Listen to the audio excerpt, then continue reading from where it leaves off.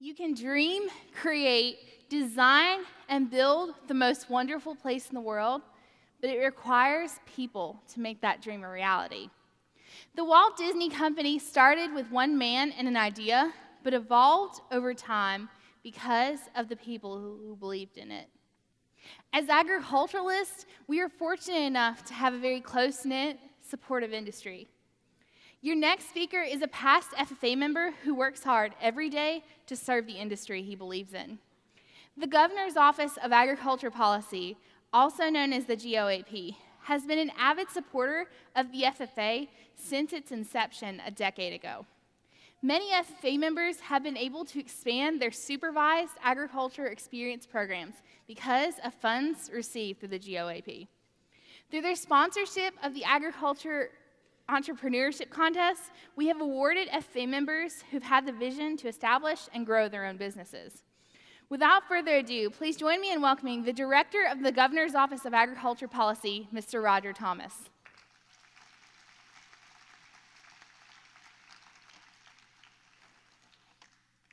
Thank you, Tori. Good afternoon, FFA members, friends of FFA. I need your help.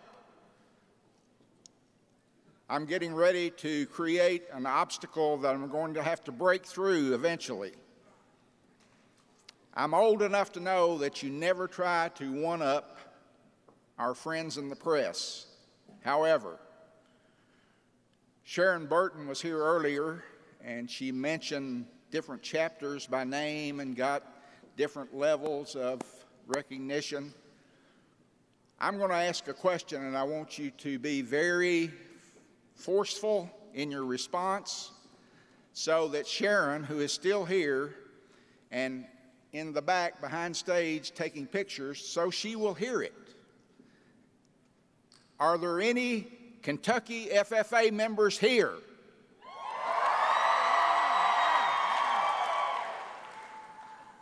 Sharon, did you hear that? Good. It's an honor for me to be here to bring readings from Governor Beshear, First Lady Beshear, the Kentucky Agricultural Development Board, and our office, the Governor's Office of Agricultural Policy. This, I believe, is eight years that I've been afforded this opportunity to do this. And I always look forward to it. It's, it's a, a pleasure. It's one of the things that I truly look forward to doing each and every year. You know, I said earlier today at a legislative committee meeting in Harrison County that when we look back 20, 30, 40 years from now at the investments of the Kentucky Ag Development Fund, I don't think we'll have any investments that will prove to be more fruitful than the investments that we've made into leadership development organizations like FFA, like 4 H, and like the Kentucky Ag Leadership Program. The $2.2 million of investments of ag development funds into the FFA Foundation are something that we're very proud of, and I commend the leaders, the Ag Development Board members, and th those current and in the past for making that decision to do that. I commend you for taking full advantage of those opportunities that have been created by those investments. You know, it's, it's one thing to be afforded the opportunity, it's another thing to take advantage of it.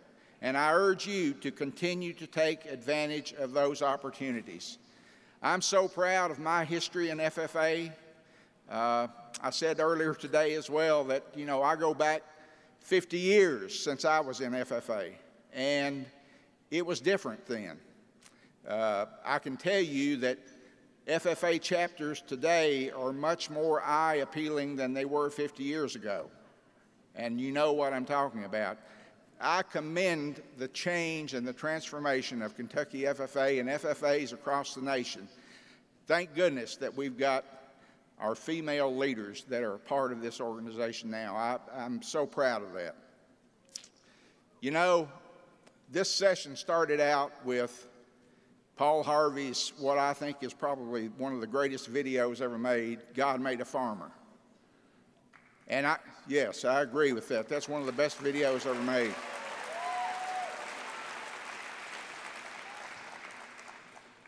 And even though it doesn't say it in the video, we all know it. That once you're a farmer, you're always a farmer. You can move away from the farm, you can take on a different career, but you will always have those qualities, that passion, that love for agriculture that you had when you were out there on the farm working every day, just as I have. The other thing I want you to remember, and I, and I want this will be my closing thought to you.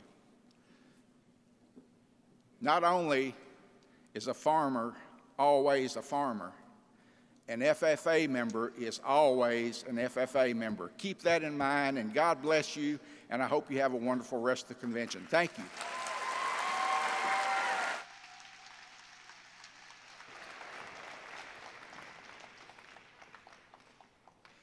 Mr. Thomas, thank you for your continuous efforts to serve at the benefit of our industry. Please accept this token of appreciation for your continued support and leadership within the agriculture industry. Let's have another round of applause for the Director of the Governor's Office of Agriculture Policy, Mr. Roger Thomas.